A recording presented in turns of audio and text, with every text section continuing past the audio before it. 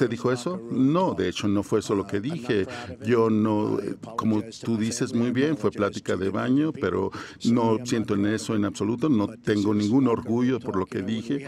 Y es algo en donde estamos en un mundo en donde tenemos a ISIS, donde se están cortando cabezas, donde tenemos a gente que muere en jaulas de acero, cuando vemos todos estos lugares horribles del mundo, cuando vemos casos tan terribles, cosas medievales que están ocurriendo, cosas que no han ocurrido en este mundo desde hacía mucho tiempo, y luego dicen, ¿se imaginan la gente que están a las que le está yendo tan bien contra nosotros como ISIS y cuando vemos el país y ven lo que está pasando, sí me, avergüenza, pero es simplemente plática del, de, de, baño, pero de eso no importa, eso, eso no quita que yo voy a destruir a ISIS.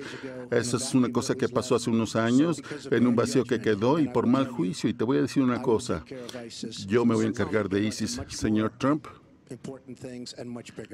Pero hay muchas cosas. Nada más que quede claro, está usted diciendo que lo que dijo en ese autobús hace 11 años, usted realmente no besaba a las mujeres ni las agarraba sin su consentimiento. No, nadie tiene más consentimiento. Entonces usted está diciendo que nunca lo hizo.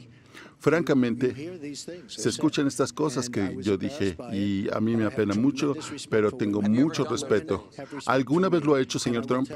Yo tengo mucho respeto y no, nunca lo he hecho. Y te voy a decir que voy